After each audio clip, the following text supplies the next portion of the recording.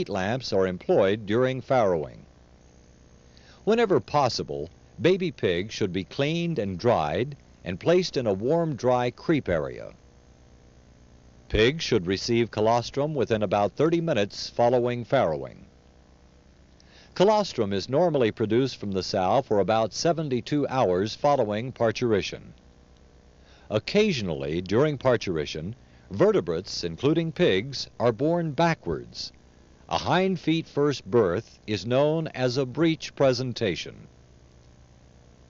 Following a rapid growth period in five to six months to about 225 pounds, the market hog is processed and yields fresh and smoked products popular throughout the world.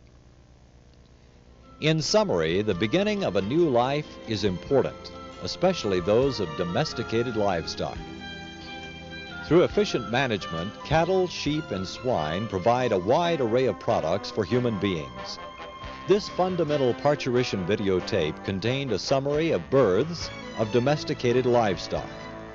More in-depth information about cattle and swine reproduction can be obtained from viewing the following creative educational video productions.